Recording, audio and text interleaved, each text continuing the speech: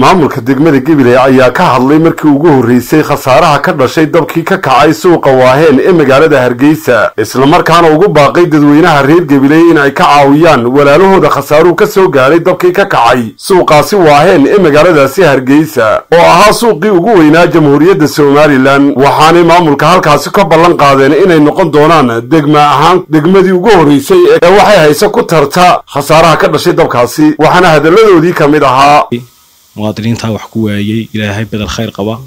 Ha idinku bedelo. Bisha ramadaana barakaysan insha allah qaranka jamhuuriyadda somalilandna wuu isku tashanaya insha allah dadkooda iyo shicibkoodina diyaar ay yihiin hiil iyo hooba. Annagu ka gol ahaan ama deegan ahaan ama gobol ahaan markii dhacdadu dhacday degmadii ugu horreysay baanu nahay ee ka qayb qaatay hadday noqoto. Dandamis iyo hadday noqoto waxyaalaha kale looga baahnaa goobtaasiba.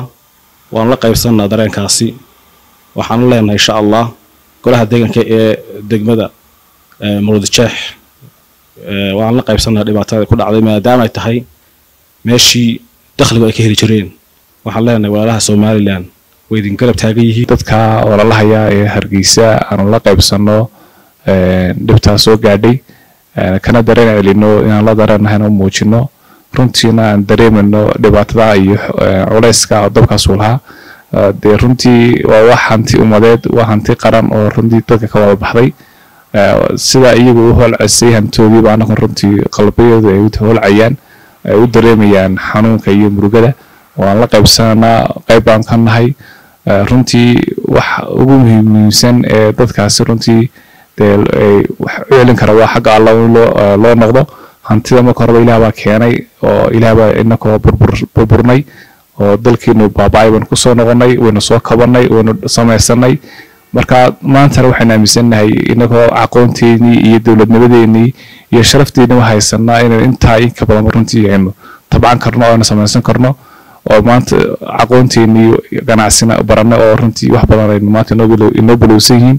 Marka waynu dareemaynaa inaynu socon karno dhib kastoo inoo timaadana aynu ilaahay tala saarano karti iyo dadaal iyo isku damqashan runtii aynu kaga bixi karno. Dhammaan somalilan kulley waa hal waana isku dan waana isku duruuf waana isku jidh maadaama marka dadku islaamkii markay meel damqato ay dhammaan jirka wada damqanayso saas leeg somalilandna markay meel wax soo gaadho dhammaan waa laga wada damqanayaa alxamdulilah wasalaatu wasalaamu calaa rasuulillahi sal allahu aleyh wasalam runtii dee sidaynu ka warqabno dhibaato aada iyo aada u culus baa jamhuuriyadda somalilan ka dhacday khaasatan caasimadda hargeysa gaar ahaan suuqa waaheen. Culays aada iyo aada u weyn oo dhibaatadiisa iyo culayskiisalaba aynugu dhacay. Ilaahay subxaana wa tacaala waxaynu ilaahay u weydiinaynaa dadkaa dhibaatadu sida gaarka ay u taabtay inuu ilaahay u sakhiro oo u malmaliyo oo ilaahay subxaana wa tacaala dhibaatadaasi khayr ugu bedelo. Aada iyo aad baan ugu mahad celinaynaa cid kasta oo arintaa ka qayb qaadatay wejigeeda koowaad oo ahayd gurmadka bakhtiinta dabka.